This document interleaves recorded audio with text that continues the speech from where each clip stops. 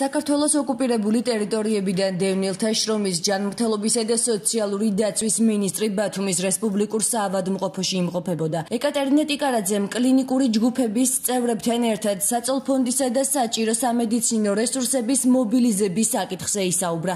ჯანდაცვის უწყების ხელმძღვანელმა პაციენტების კლინიკური მართვის საკითხზე პასუხისმგებელ პირებთან მოქმედი პროტოკოლი განიხილა. ბათუმის რესპუბლიკურ საავადმყოფოში ვიზიტისას მინისტრი იმუნიზაციის პროცესს პროცესაც გაეცნო. ადგილზე დღიურად საშუალოდ 700 ადამიანის ვაქცინაცია ხდება. მინისტრმა იმუნიზაციის გაფართოებასთან დაკავშირებულ გეგმებზეც ისაუბრა. ეკატერინა ტიკარაძის განცხადებით ვაქცინაციის არეალი ფართოვდება და პროცესში ბათუმის შოთა რუსთაველის სახელმწიფო უნივერსიტეტი ერთვება. უახლოეს მომავალში იქ მასობრივი იმუნიზაციის ცენტრი ამოქმედდება ჯანდაცვის მინისტრი ეკატერინა ტიკარაძე აჭარის რეგიონში არსებული ვითარების გათვალისწინებით ეპიდემიოლოგიურ გამოწვევებზე რეაგირების მზადყოფნის შესაფასებლად სტუმრობს.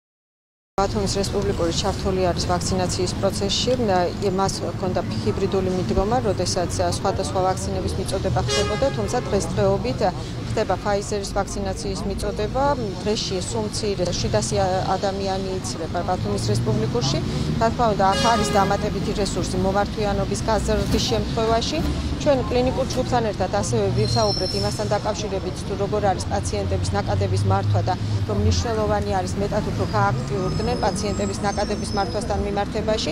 ბათუმის რესპუბლიკური ასევე მართავს არაერთ სასტუმროს, რომელიც მობილიზებული არის აჭარის ტერიტორიაზე და ბათუმის რესპუბლიკის პროფესიონალები არიან იქაც განთავსებული და რა თქმა უნდა მნიშვნელოვანი არის რომ დღესდღეობით მოხდეს მეტად უფრო ინტენსიურად საწოლ ფონდის განტვირთვა და პაციენტების გრუნდის გააქტიურება ყველა საავადმყოფოში მოხდეს მეტი დატვირთვა ყველა კლინიკური სასტუმროსი რათა არც ერთი პაციენტი რომელიც ახალი ინფიცირებულია არ დარჩეს ექიმის მეთვალყურეობის გარეშე. საქართველოს ჯანდაცვის მინისტრთან და მოადგილესთან ერთად გავიარეთ არსებული სიტუაცია არსებული გავითვალისწინეთ მათი რეკომენდაციები და შესაძლო გამოწვევები დავსახეთ ამ გამოწვევებთან ბრძოლის მომდენო ღონისძიებები.